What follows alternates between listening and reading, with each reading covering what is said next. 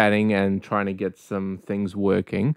Um, Mhm. As we men- as we kind of mentioned before, we've uh, we're kind of winging it with the Discord, with our with the Discord at the moment. We're doing this on Discord for the Yeah. first time. So and we're really Yay. just winging it. Progressive. yeah, yeah, we're so I, it really shouldn't be because the Three both white of us, people on a podcast, so progressive.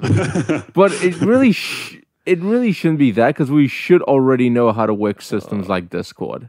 Yeah. It um, it seems kind of sad that we don't.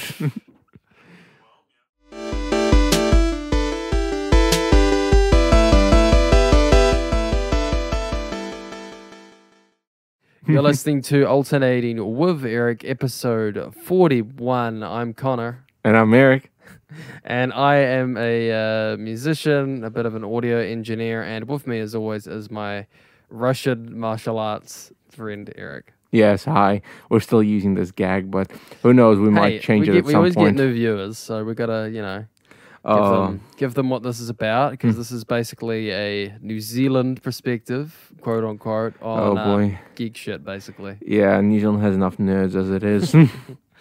Actually, I have no idea what the population of nerds would be in New Zealand. It'd it's be- not. It's not as big as you think. It really isn't, Yeah. which is slightly sad, but mm, nothing, nothing much we can do about it.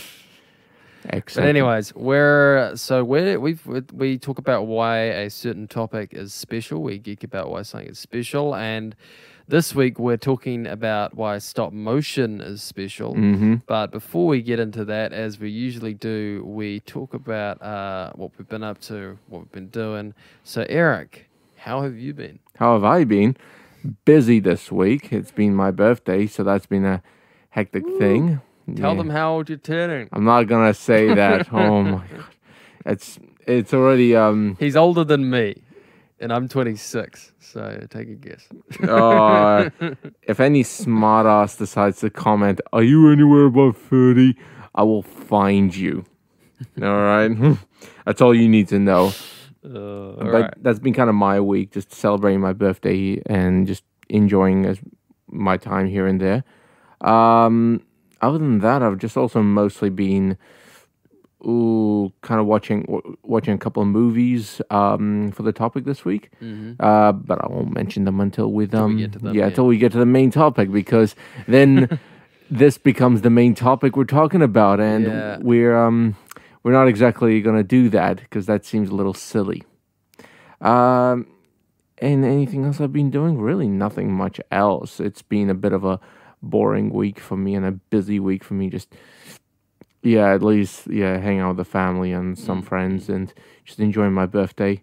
I mean, f- last I mean, you know, one night me, Connor, and another friend of ours, we all went to um, yeah, we all went out and just uh, had a few drinks at a Japanese restaurant. Yep. And what exactly happened there? It's fun. Uh, Mm.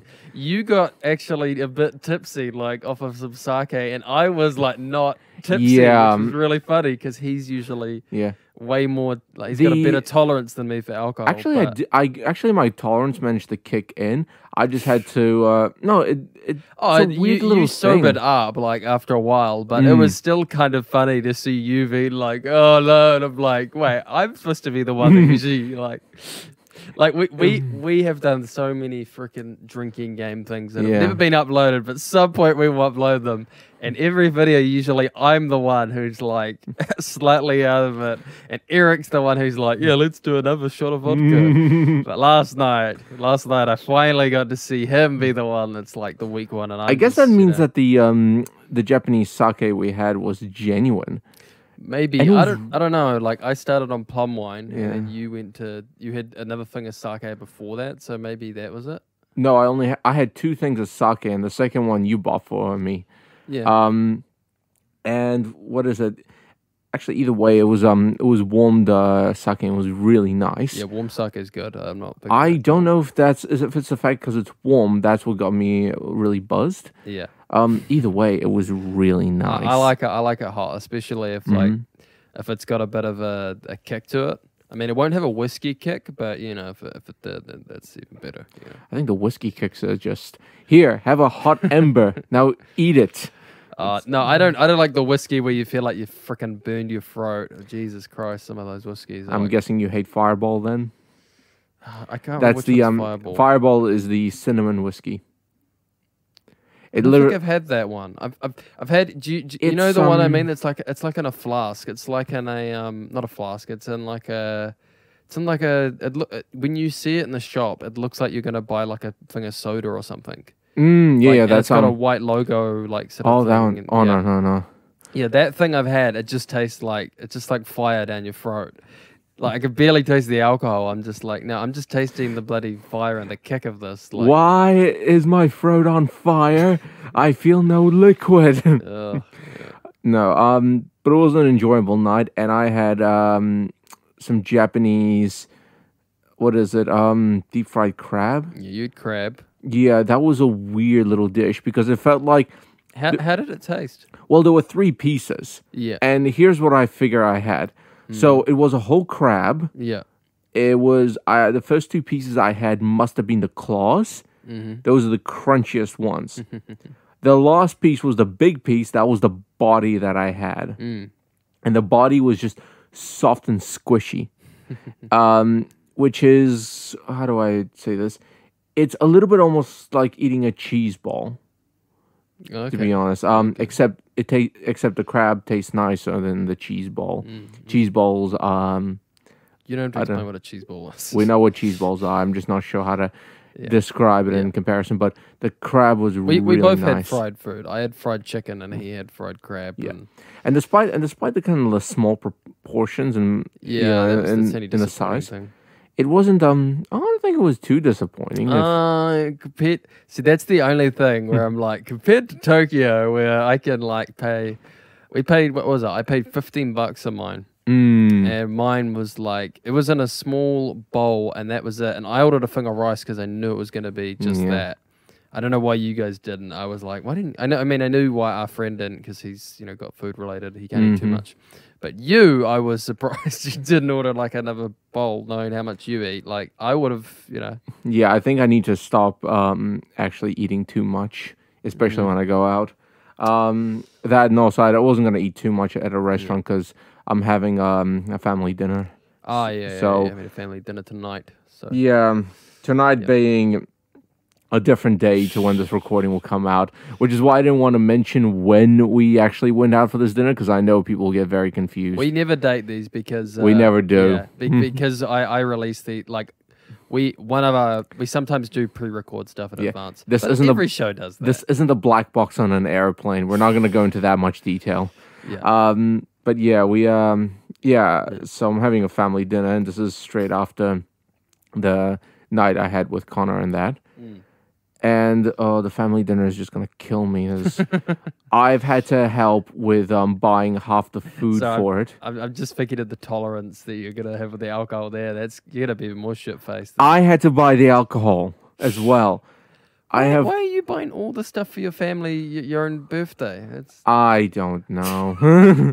I just do it because I'm Jesus, nice that feels them. like punishment. now, Erik, you go buy all the food and the drink for your birthday. That's kind of that's kind of the culture thing. If you're a big earner in the family, you go buy the food. No, I'm kidding. Um, I mean, it's my birthday. I technically have to be the one to help set it up. Mm. But since I'm a shit cook, I just I just have to buy the ingredients and everybody else cooks. So Well, yeah, at least they're cooking for you, and you're not just cooking for your, you know, self. no, no, hey, Erik, all ma- make us all food, and you know, no. I do not want to make you food. I make my own food. No, You just go scavenge "Niet, outside." Niet, niet. Oh no, I get a hiding if I Yeah. actually said that.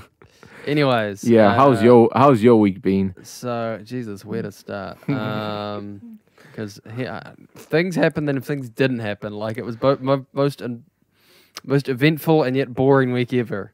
Because I'm starting, I might be starting a new job. Mm. Um, I can't make any promises of that because that may that may go, that may not, and I don't want to date this if like we do another podcast that's like Connor's now working a completely different job. That's not even the one I mentioned. no, But- so I'm not going to mention any details about it, but um, yeah, I did a I did an interview. Uh, funnily enough, with this mic that we're on now, I didn't have the mic stand, so I was just holding the mic up. uh, and they were probably a little bit. My brother was like, "Why didn't you just use a headset?" I It's like I don't have one. I, I have this mic. I have a pair of headphones, and that's about it. You know. So, and anyways, they they liked me on the you know the interview. So so that was good. Um, let me see what else. Okay, so I discovered a new walk path on my walks because the frickin' um, so there's there's two there's two no there's three walk paths now I've discovered by by my house. So there's one right next to me. That's like it's pretty casual. There's not really much um, uphill or Mm. anything. It's just straightforward through the bush sort of thing. And then there's like an uphill bit that isn't really my thing because you go up there and it's like, oh, there's nothing really else. It's, which I'm just on like some random street now. I go through the bush and then I'm up on like a random street, you know. Um, but the one, there's another one like down, way further down by my house, uh, which I sometimes go on, but it's also used by bikers, like the, the Mm. cyclists. And that's okay, except if you want to do some running, like as you go down there, which I sometimes do, I, I do the full walk up and then because I'm like, hey, I want to lose a bit of weight, I might do like a bit of a run, like down the hill, Nice. um, which can be pretty crazy because it's like if I lean a little too far to the left, I could fall down the cliff and you know something could happen. that is terrifying. but but I love it. I love I love that sort of terrifying feeling.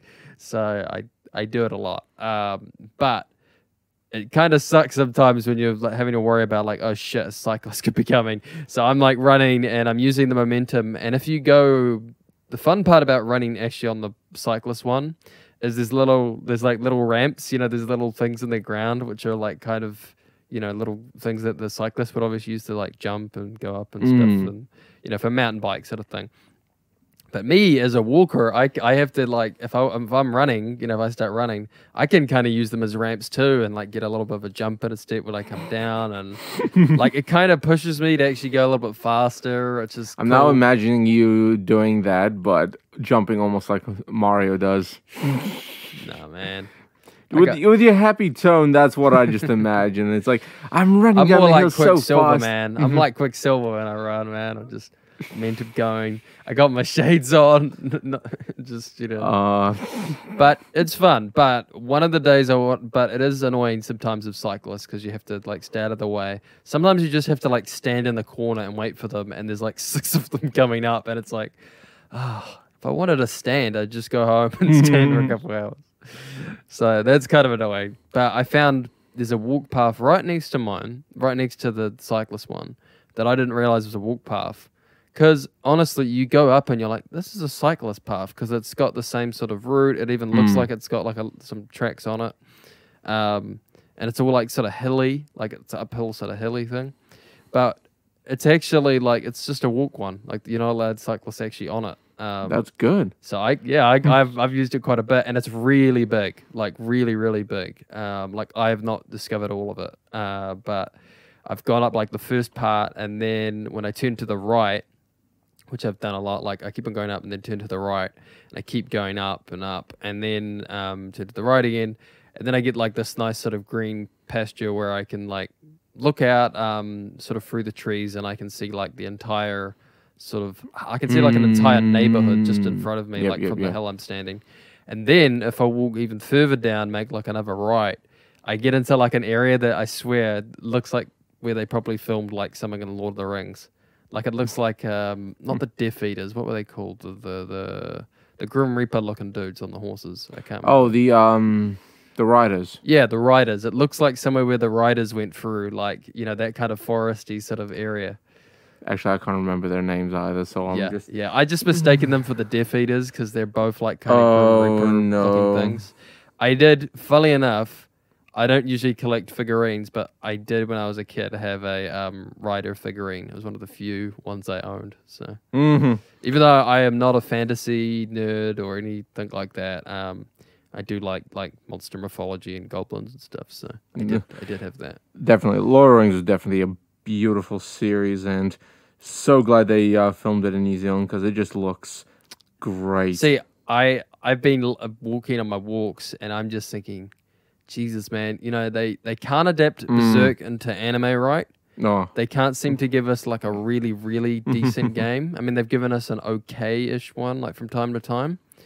But man, uh, like, I would, I would just adapt Berserk into live. Like, Berserk is one of the few things that I think could really work in live action with like hardly, like, probably like ne- next to no changes, and could be filmed here.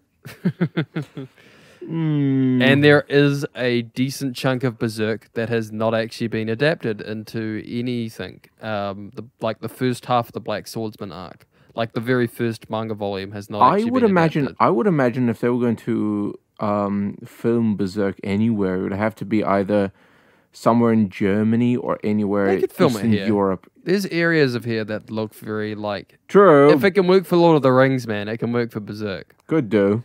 Yeah. Um, but even then, Berserk does have some eerie, eerie and creepy um settings, Oh, which could do. work better. Which could work better in in the area Oh, like yeah, Eastern But Europe. but we, we but- do. There's a couple areas I could I could show you around the country that that have some sort of not so nice vibes about it. And with with the right lighting, Erik, the volcanoes do not count. with the right lighting and the right like you know hmm sort of setup, you can make anything look a bit spooky. Fair enough. Also, um, just before just before we continue, so I just had a quick look. So the riders in Lord of the Rings are called the Nazgul. Okay, I looked this up because that's how much. because you're a nerd. Yes, I am, and I do like Lord of the Rings. And um, on and on that note, we're gonna we're gonna take a break Mhm. and we'll come back with our episode on um, with our discussion on why stop motion is special, and we Mhm. have a very special guest for that. So Talk catch to you, you after the break.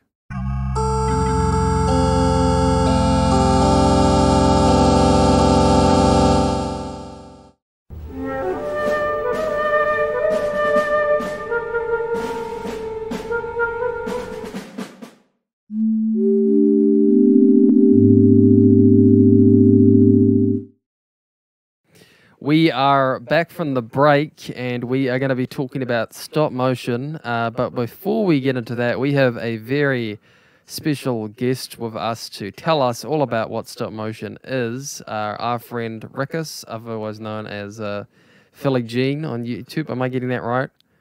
Yes. Yeah. So, Rickus, uh, why don't you uh, tell us maybe what you do and um, tell us a bit about stop motion? Well, what I do is I, I'm basically a writer, but I also do a fair amount of my time. But uh, yeah, you wanted to know about stop motion. That's one of my favorite ones. Takes a hell of a long time to do, but it's quite fun. Hmm. You can do, you can do for like five days of animation and only get about a minute's worth of video. Yeah. Yeah, so Rickus has done. Uh, you did a film degree, I believe, and a bit of a. Yes. I just, I just want to puff up your credentials a bit. yeah. Don't worry, I don't have many. Ah, you have a couple. He's he's done a couple films, and uh, your YouTube. Oh, I guess we'll promote at the end your your YouTube channel. Um, Ah, there's no need for that, but you know, just chill oh, a we bit. we you know? definitely will. we definitely will.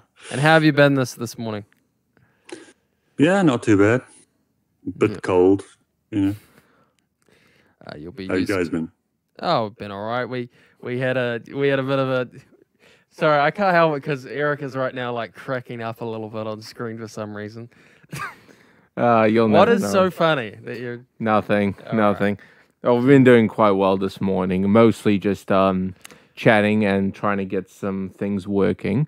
Um, Mhm. As we men- as we kind of mentioned before, Mm. we've uh, we're kind of winging it with the Discord, with our with the Discord we're, at the we're moment, doing this on Discord for the first Yeah. time. So and we're really Yay. just winging it. Progressive. yeah, yeah, we're so. I, it really shouldn't be because the Three both white of us, people on a podcast, so progressive. but it really sh- it really shouldn't be that because we should already know how to work systems like Discord. Yeah. It um, it seems kind of sad that we don't. well, yeah, no, now you now you know now you know. You yeah. know? Now So you know how to use it. Anyway, yeah. More or less. So we watched a bunch Mhm. of um, stop motion stuff to sort of uh, get into this, you know, headspace of what Mhm. stop motion is. Um, I recommended some things. So since it's Rickus is the guest, uh, why don't you tell us about like some of your favorite stop motion films? Maybe you Mm. know some guy made you watch this week and a couple other things. Well, I think one of my favorite ones would have to be the 2000 classic Chicken Run. It's Uh-huh. just it's, it's by the same people who made Wallace and Gromit. Mm-hmm. Essentially, it's about it's about all these chickens in like a World War II scenario where they're trying to escape from the farm. Mm-hmm. And then you know it's it's it's your classic World War II, you know, man meets woman, you know, fall in love kind of story, and then they all all of them just escape. And yeah, it's it's it's quite it's quite nice. I especially love just the expressions the characters have, just with the actual motions of it. Yeah, Although and they're mostly made of plasticine and plastic, so Although most of the time those characters had a um, perpetual, um, was it expression of surprise? yeah, yeah. Because the the way that Aardman Productions, the guys who made the films and the Wallace and Gromit one, the way they do the expressions is very it's very basic. It's just a mouth and like two little eyes, and every time it blinks, it's like a like a little bit of um like plasticine or something they put over the eyes, like for a, just for a frame, and it's just blink and you miss it. And Mm. also the eyebrow is very, it's very. Uh, what's the word I'm looking for? It's very iconic of Aardman Productions. Just that Mm. eyebrow. Mm-hmm. It's pretty good. So yeah, I was just going to ask actually, like some technical sort of stuff you could tell us maybe about some like stop motion stuff you've sort of watched and like I, I made you watch something this week that's uh it's Australian. It's um Max and Mary, if I remember correctly. Mary and Max. Mary yes. and Max. I always get it mixed up. Um, is that, that that had kind of a similar look, but it's not it's not the same style. I know that's more sort of Chicken Run was more Yeah, it- clay and this, yeah, this Chicken Run, Chicken. Run, and yeah, Chicken Run and Wallace and Gromit was um very plasticine, like you know, clay looking.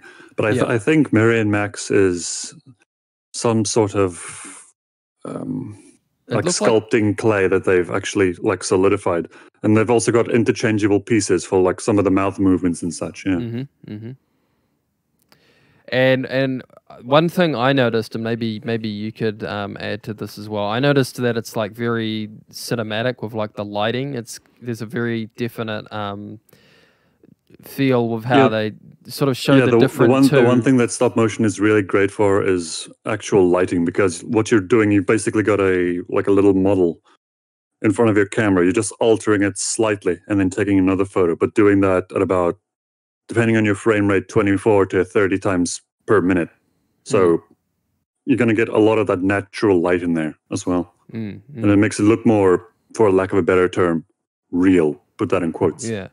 Mhm. How would you sort of so a lot of the some of the stuff we watched had um just a lot of the movies I've watched and probably what Eric watched a little bit too. There's definitely a very um lot of sort of black and white film influence I'd say like from sort of dramatic periods and times like Uh, that. I mean, like like like film noir kind of thing. Uh, yeah, I, I was thinking more like um, maybe like Metropolis, you know, th- those that sort of thing. Ah, yeah, yeah, Um, yeah. That yeah. really famous one. Yeah, yeah. Yeah, or Yeah. um, ah, I can't remember the name of the one, but there's a horror movie that's also something's uh, cabinet or something. It's a it's an old one.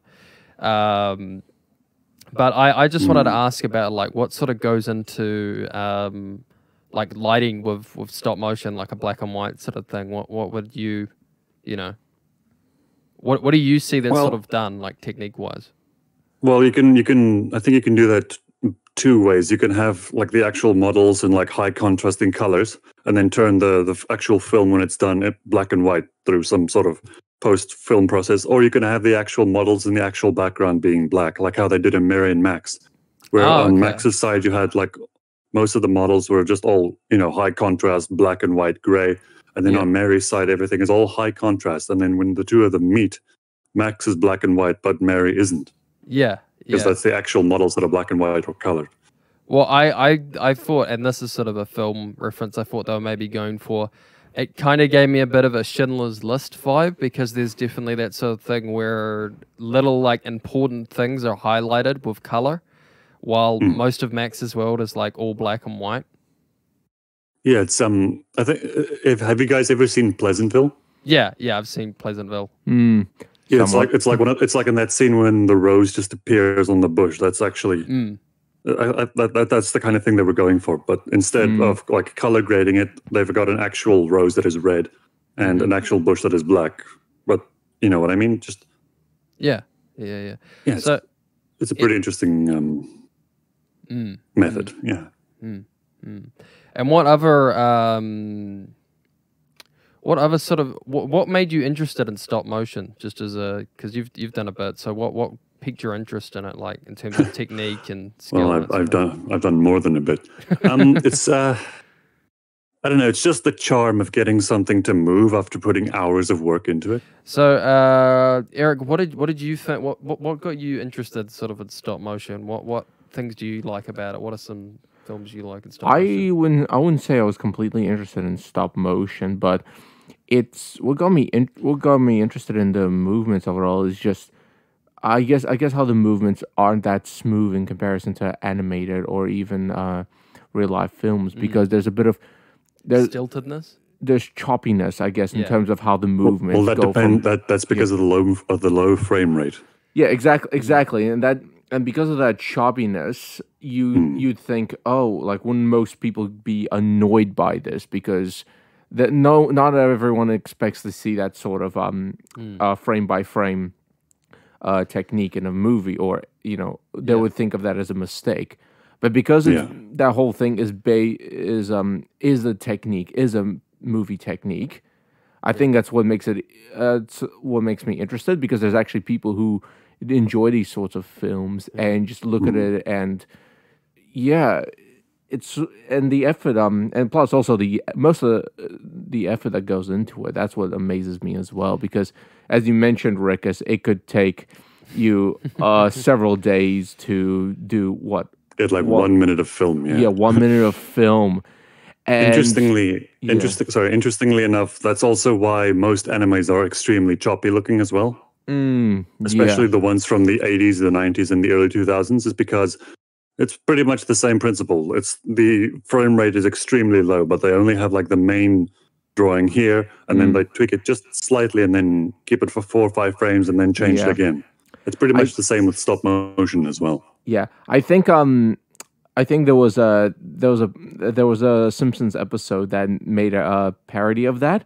So I can't remember which episode it was, but they had this one convention where the Simpsons went and saw this animated film, and this animated film was so choppy and just kind of so a little bit surreal Mm, and old yeah. that yeah that kind of what brought um that kind of what reminded me of it. I, I think I think with stop motion, one of the cool things I like is you can use that sort of choppiness to Mm. both portray something that's like kind of um, I don't know, very unique and kind of interesting, but Mm. you can also Yeah. do something like really scary and kind of Yeah. horrific, like it- yeah, it- like it Tim can- Burton's um, was it was it Tim Burton who directed that, or was it someone else? No, no, no. But I'm, I'm, uh, I'm, Nightmare Before I'm thinking Christmas. about the thinking Nightmare of Before Christmas. Henry yeah. Henry Selick, And- Yeah. um, who did James the Giant Peach, bunch of. Yeah, But yeah. He, he wrote Nightmare Before Christmas, but Man, as as as a, as a kid, those two films scared the hell out of me. I get what you mean though. But what I found interesting, so I, I rewatched that and the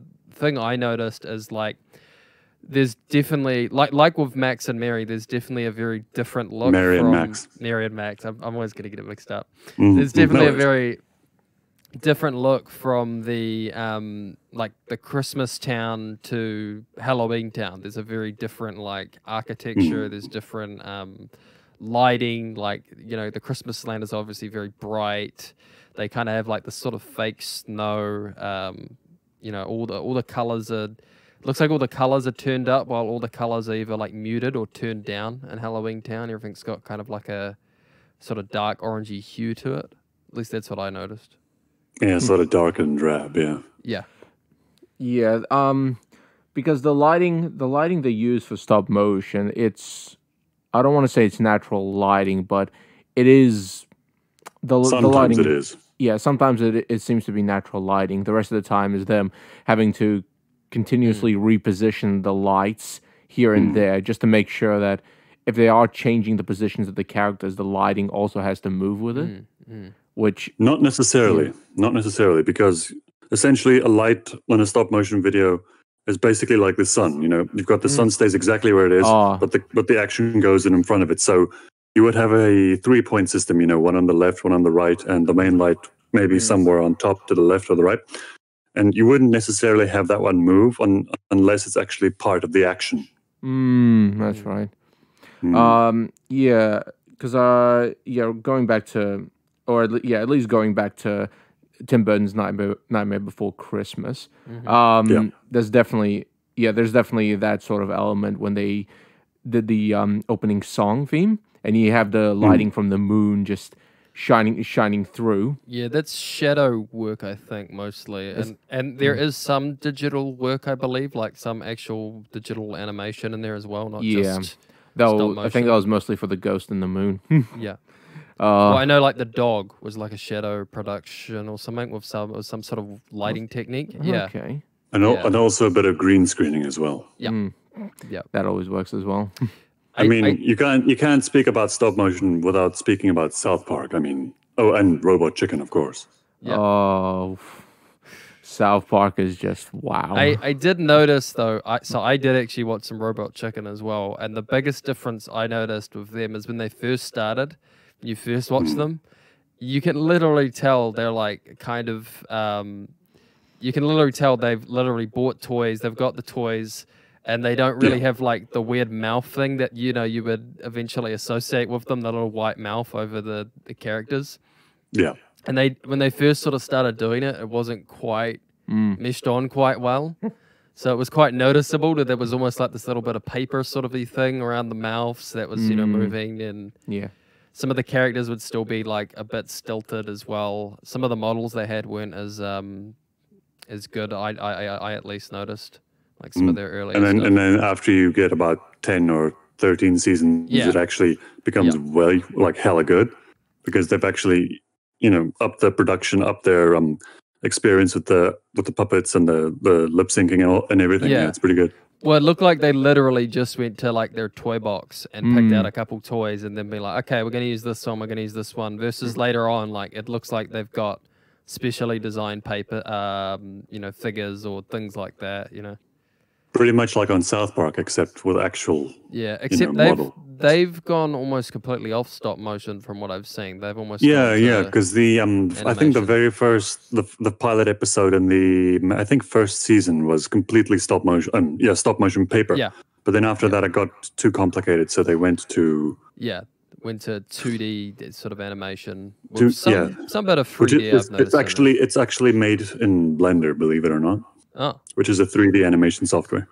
Well, I know, I know their schedule is crazy. Like they do, like they do it Mm. weekly or something. Like it's it's nuts. They're Yeah, uh, that's that's why they can make like, they can make an entire episode in in six days, yeah. which is phenomenally good. Which is why that's they how, probably that's how don't this, do the, the streamlined process has been has been you know Yeah, made it super efficient. yeah. That's probably why they don't Mm. do the stop motion thing. I would imagine just for time time constraints. Yeah. So, um, And one of the movies. sorry. Oh, sorry. No, no, no. You continue, Rickus.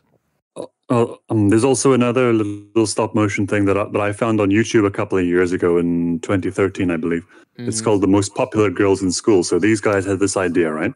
They're going to tell the most like realistic life story, like a Mhm. slice of life, but with Barbie dolls and Ken dolls. But the thing is, Alright. they actually like swear and do a lot of like violent stuff, and it's it, it's pretty great. So Mhm. essentially, it's it's like when Robot Chicken when they started Yeah, it with all like stilted and all like you know janky or whatnot.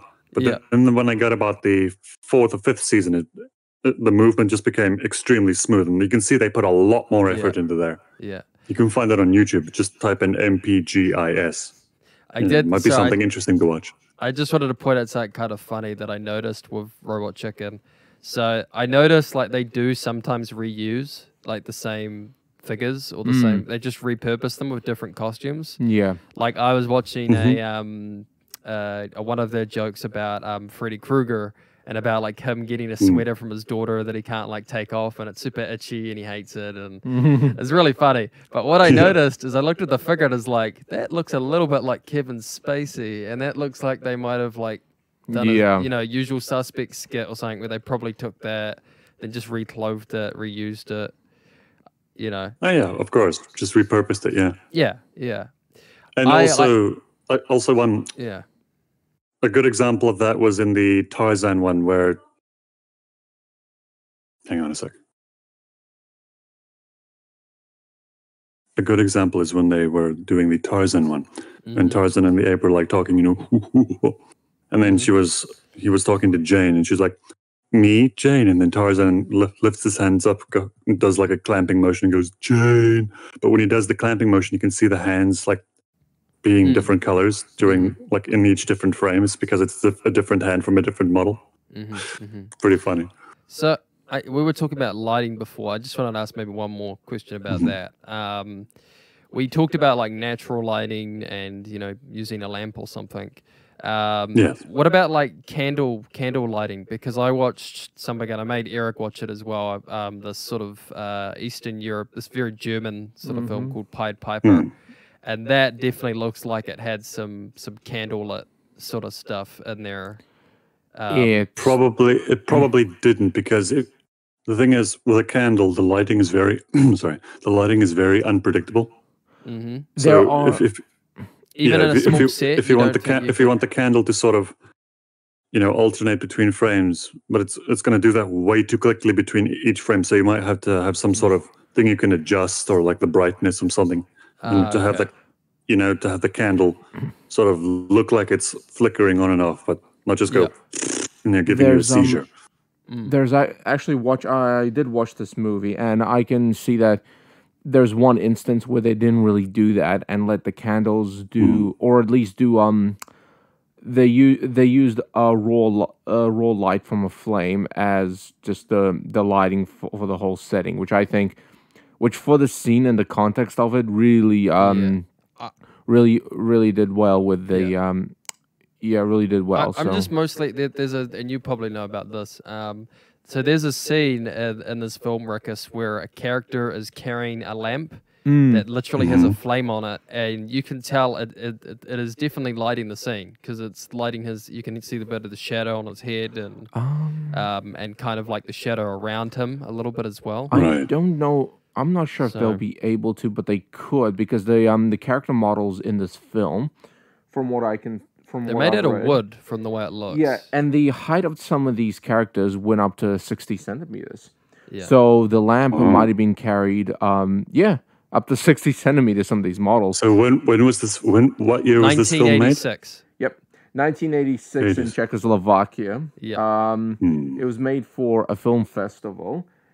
Mm-hmm. And it was supposed to be a um, a children's film based on the It is German not a children's film. let me let me uh, yeah let me It is describe about how as it is. much of a children's film as the one I made Rickus watch. yeah but it Oh, um yeah. the I mean, I mean, this one doesn't have a baby dying in it, but um, it, it is some some other pretty Yeah. nasty shit. yeah because this um yeah the the the pied piper or the original name of it actually was um Krysař and that translates to the rat catcher but it is based off the pied piper of Hamelin from West Germany and they did try to create the film with a heavy heavy influence on medieval Germanic design Yeah, So that's why the definitely noticed that. buildings, the characters themselves, um, a lot of a lot of their actions and what Yeah. they do. The film is the film just looks really, I guess, in a creepy, a really creepy um, sort of way because um, the carving, the carving for each person was done, you know, out of you know out of Deliberately. Yeah deliberately and out I- of wood and just made to make every character look rather not not really distinct but Mm. rather terrifying So one thing I noticed, um, and and Rickus, you should definitely check this movie out. Not just because it's a stop motion thing, but because the Pied Piper looks like um, like Obi Wan. You'd agree with me on that, eh, Erik? Like with the hood Yeah. and the beard. Like they gave him like that Obi Wan look where he's got like the hood on, the Yeah. beard, like Mhm. yeah. I think um i think the pied piper in this movie was definitely the most distinct character That, that's what I was going to mention. Yeah. So this movie also used um, Sounds real, like a stylistic choice. Yeah. yes Well, I think they did that because only three characters actually have um, like really distinct, really detailed faces, and all the other characters uh, have like just kind of Actually, there's more than three characters. So the Pied Piper, um, most of the uh, nobles, That, that's what I was going to say. Most of the butcher, nobles the have- butcher, the Mm. jeweler, and a couple other characters. There are quite a few characters Yeah. with distinct faces. Well, I, I was just going to say most of the like people in the city have very narrow rat-like Mm. faces, which is interesting with the Mm. plot. Yeah. because- Again, We're not gonna another s- stylistic choice. yeah. Yeah, we're not going to spoil it, but definitely We'll, give it a we'll watch. get into that a little bit later, but uh, maybe you know later on. But Yeah, I'll, This- I'll, I'll, I'll, I'll go and have a look at it because you guys sold it to me. Yeah. Well, Mhm. this thing see as this. well. So this is one thing we'll warn you about. Um, they do use real rats in it, like real rats. Not, not- Um, not stop. They do use a bit of a fake stop motion one as well, but I they th- a actually have lot real of- rats. a lot of the rats that we see on screen are stop motion rats, so they're quite fake, and it's rather but but there are real ones that at a certain they point. they seem to take um I guess they seem to take documentary film footage and add it on um from photos of real rats um because there's a sorry film of real rats Yeah. which is which is easy to see because even there you can instantly tell which one's the fake which one's the real Yeah. rat But the reason I bring this up is because um, there is a scene of a.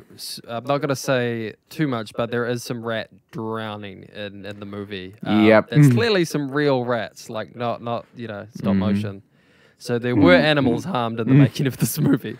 It was rats let's not cry about it Well, it's it's No Germans. animal puppets were harmed during the making of this movie. Only real Oh, animals. oh no no there is some There are some puppets definitely some wow do not remind me there Think is of a yeah Think of There the is one- puppets. Won't someone please think There's, of the um, puppets? There is a scene of one puppet getting attacked by a rat Oh, and they Oh no, I wasn't even thinking of that. There's a there's even more Oh. disturbing, but that, that's a good Well, don't, example. don't yes, spoil it for is- me. I want yeah, to see no, this we film. won't spoil it. Come on, We guys. won't Yeah. spoil it. We're, we're just we're just we're just Yeah. excited about it. Um, it is it is a Krysař is a unique film because it does um it does try and follow the Pied Piper of Hamelin story Mm. to as um what is it to as close as it can Yeah, but it's it's taken a far more darker tone than the Yeah. uh, the actual story itself because the story of a um a man coming to a town to take away the rats and then stealing the children in the end is actually a lighter Mm. one than Krysař. Um, so yeah, thanks thanks for being here, Rickus. I know Mm-hmm. you've got to good, man. got to head off. So um, Yeah, We'll- I got, we'll I got, con- I we'll continue more important discussion, animation things to do. Mm-hmm. we're uh, we're glad to have you on to sort of tell us the Yep. technical side of of this um, Oh, sure, man. stop Anytime. motion. Yeah, and we'll we'll have you on at some other point as well. hmm hmm Mhm. And and just to just to give you a little bit of a plug, so um, Rickus did our, our our logo design. So if you see Yeah. our logo design, uh, you know it's him. And um, Rickus, why don't you tell us what your YouTube page is, where people can check out your art? Oh, sure, sure.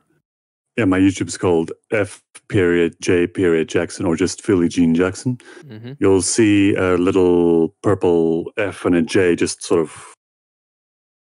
Uh, what's the word I'm looking for? Eh, Sorry, English is not my first language. Mhm, Um, it's fine. pixelated. So you'll see a little pixelated F and a J with Mhm. purple around it. hmm That's me. Come check me out. All right. Thanks for being on. Cheers, man. See ya. See ya. So thanks, Rickus, for being on. Uh, but let's let's talk a little bit more about some stop motion stuff. Um, don't worry, we'll wrap it up. where, where Erik's got to go somewhere at the end of this. So Mhm. we're trying to be quick. But I just wanted to get your. So we we talked about Pied Piper. Mm-hmm. Um, so I, I just wanted to give a shout out because I didn't I didn't when we were talking about it. I want to give a shout out to Steve Reviews. Uh, I Mm-hmm. wouldn't have known about that movie if it wasn't for him. So I want to give him a shout out Yeah. for, for his review of it. I did not watch his review before doing this, so I don't just Mhm. spew exactly what he said. Um, yeah, I've seen a few, quite a few reviews of what Steve, um, ha- Steve reviews did. yeah, Steve reviews had, and wow, Yeah. I can't imagine the mental state of that guy after watching some of the movies that he's watched. so um, what was I going to say? Um, so I think we will talk just a little bit about some of the. I wanted to get your opinion on because I've got some stuff on the sound design, and I wanted to get your opinion on maybe some of the story elements that are in there because you you you like talking about politics and. Um, societies and things like that. So, so you could probably tell us a little bit about um, what's going on there.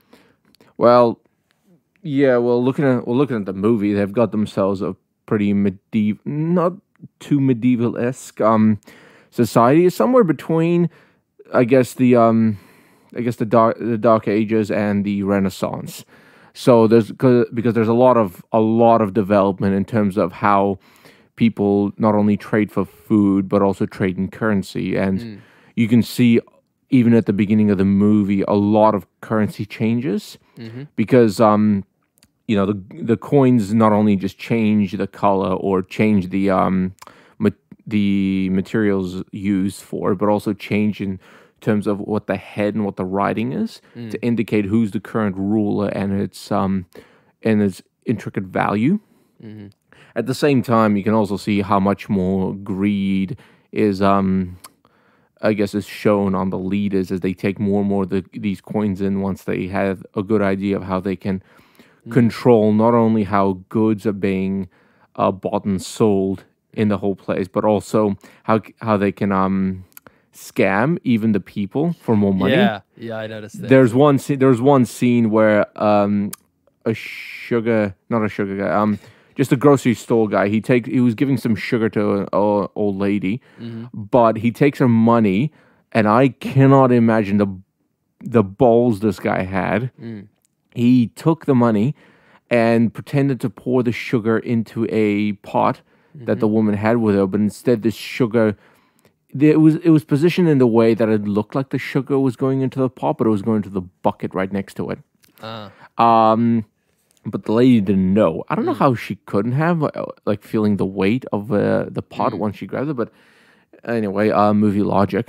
But in the yeah, in this uh, yeah, in that in, in that instance, it does show it does show it does still show a lot of um how What do uh, you, yeah. what do you think the message or the point of you like of the film is supposed to be? It follows it follows the original message s- still from the Pied Piper of Hamelin, Yeah. which is don't be a gritty bastard or you lose what's precious to you. But I think, but I think there's a there's a massive difference between what is considered, um, you know, what's valuable, precious to you, because in the original story, the Mm. Pied Piper of Hamelin, all the adults all the adults lost their children, which were Yeah. the um, which were considered very precious to them. Yeah.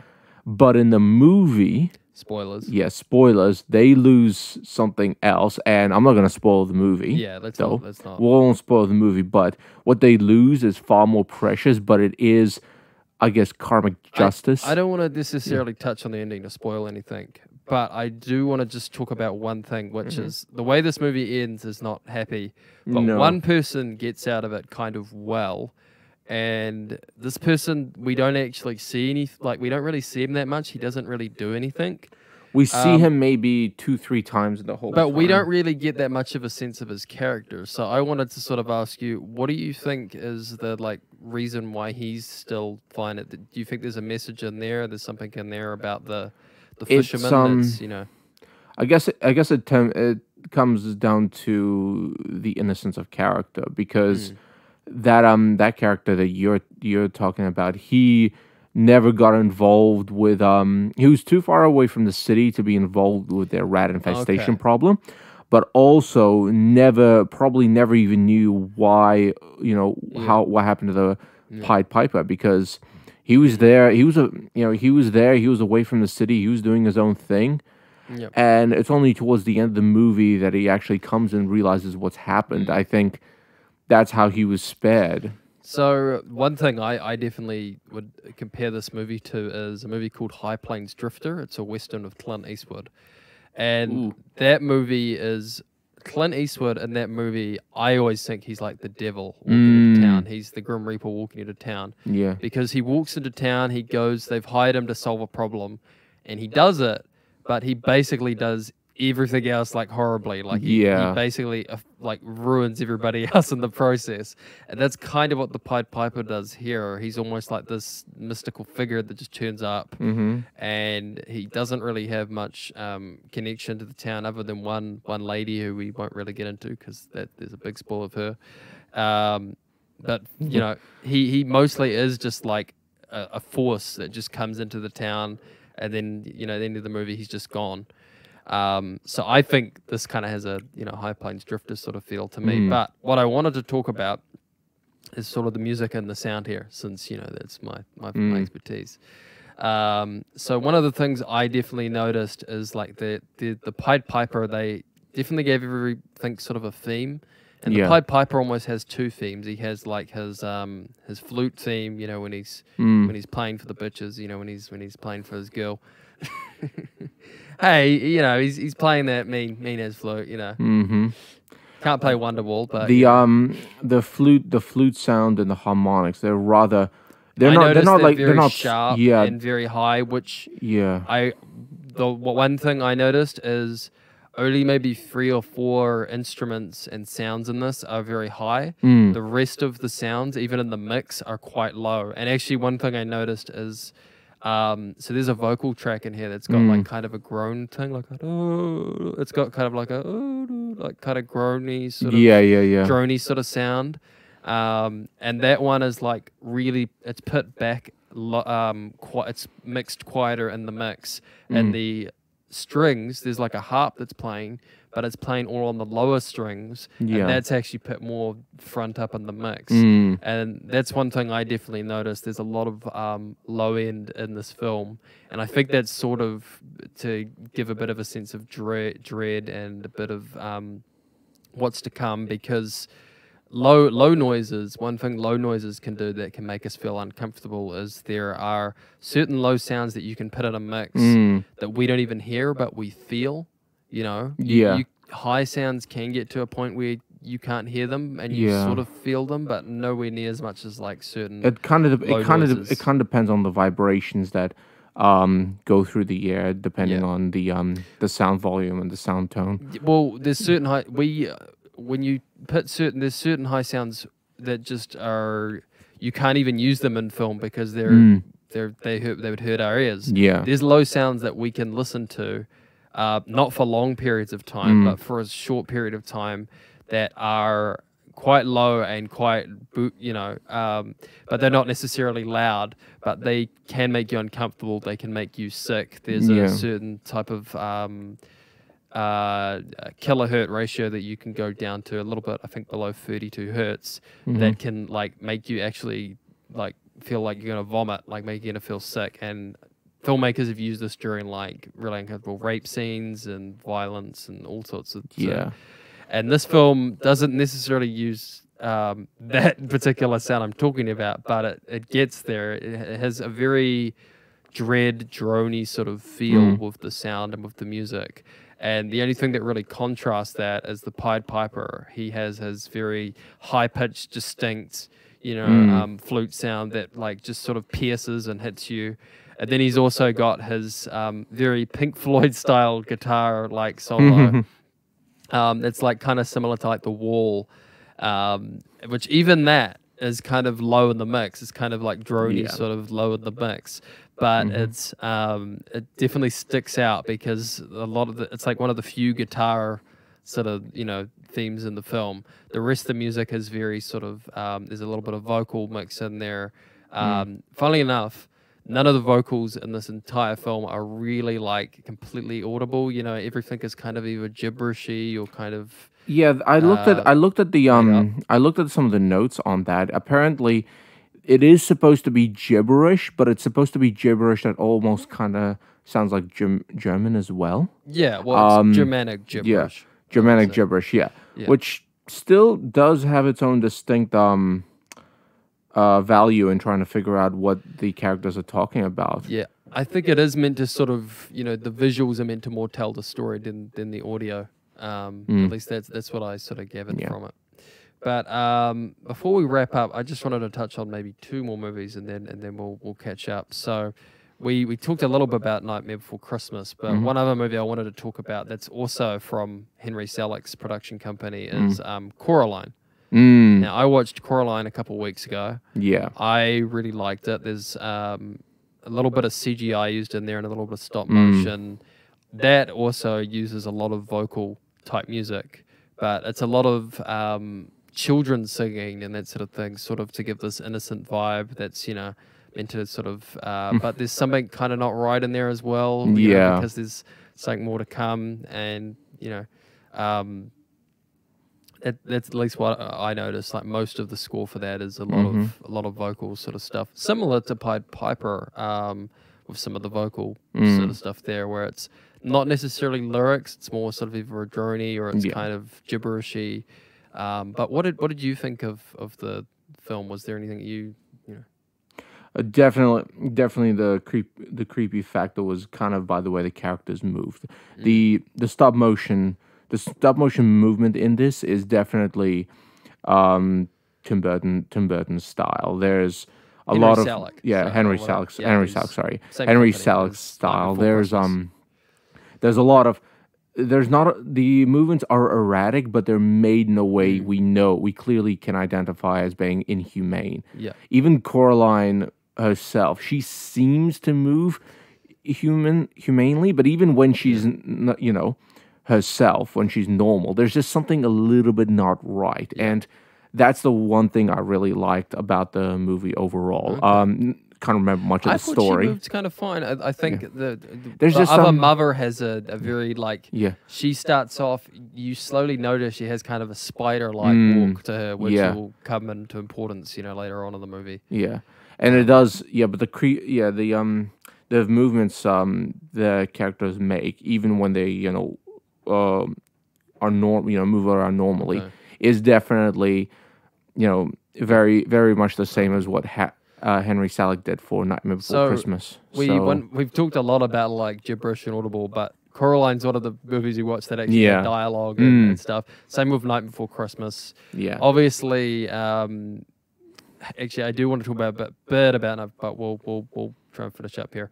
Um, but Coraline, I thought um, the performances were really good. The vocal performances. oh yeah, they were well. Especially, I think um, I, I thought I thought Ian McShane actually did a pretty good Russian accent. Mm, What did, wasn't that bad, yeah, I have to yeah, I say. thought really good. And the I can't remember her name at the moment, but she I know she also plays Lois Lane in Mm. a couple uh, Superman and Lois. I think. yeah, Um, she she did a very good job as as the other mother. Like she played Yeah, both yeah. sides very well.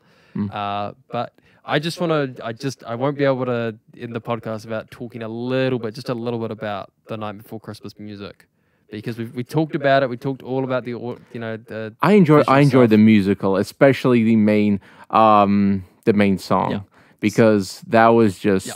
So yeah I, I've seen this movie three times in a movie theater because they did a 3D re-release a couple years ago. I went and saw it. yeah And I had to stop myself from singing multiple times in the Mm. theater because I love all the music numbers in this. yeah My favorite thing is the fact that it's very um the, the melody and the phrasing is very like up and down. It's never like Mm. straight. It's never just one straight line. Like the only person who has a very sort of straight line, very just not too much craziness and the vocals going on is Sally. Her song is kind of da da da da, but you listen to Jack's, it's da, da da da da da da da It goes up and down. It goes up and it mm, down, yeah. and then uh, you know where he decides to stop the word and start the word again is um, very interesting. And one of the songs, not quite my favorite, but I do have to commend him for like how hard the vocal line is. Um, What's this has like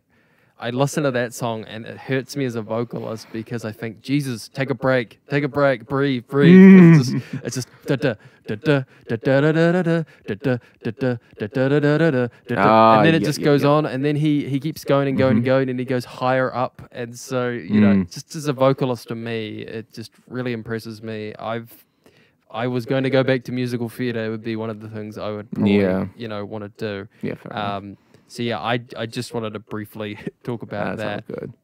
Um so yeah i would i would say i i really enjoyed stop motion. I'm always interested to see new stuff. Yeah there's always there's always there's always something different and interesting to do And with this I kind think- of film technique i think we'd both recommend you check out pied piper check out Yep. night before christmas. Definitely. Check out coraline. Hmm Kubo and the Two Strings is, is okay. I watched that recently. It was all right. Isle of Uh, Dogs. I've watched that as well. Give it a not not a favorite for me, to be honest. Give it a watch as well because that movie somehow made me indecisive of whether to laugh or cry at the at So, different moments. I'm going to recommend Fantastic Mr. Fox over it, but that's just because Ah, I yeah, prefer yeah. Roald Dahl stuff over over you know nice.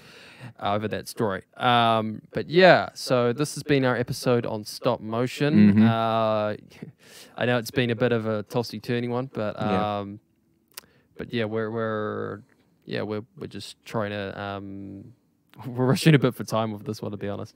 Uh, but you can check out our Instagram. That is um, my mine is insert Connor here. You can check out that. I sometimes post the episodes there. Erik, what's the Facebook and YouTube? Uh, both are alternating with Erik. Uh, they're proper titles now. Yep. And was it Spotify is also Yep. alternating with Erik. Yep. And, we're on Google Music, I think, Yep. As well, and a couple other things. Um, and you can check out on our YouTube page our Snatcher Let's Plays. We're going to be doing a bunch of Akira Yamaoka games Mhm. leading up to our Akira Yamaoka episode for Yep. Alternating with Erik. But this has been Alternating with Erik. I am Connor. and I'm Erik. Catch you later. Bye.